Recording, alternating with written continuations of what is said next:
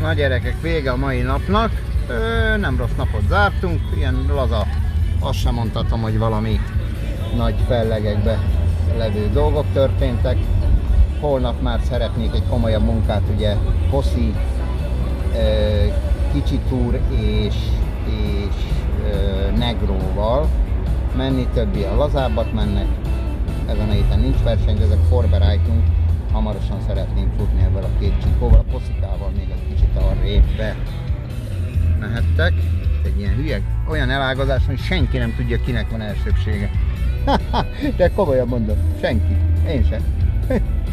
De mindegy, ballagunk haza. Egy jó fürdike lesz, aztán nézzünk ki a fejünkből, aludni nem tudunk.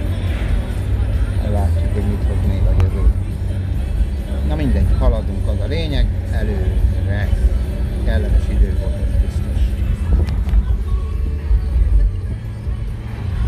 Kocsival jöttem, futni akartam, csak a lányomokat, lányomékat hoztam a nagypapához.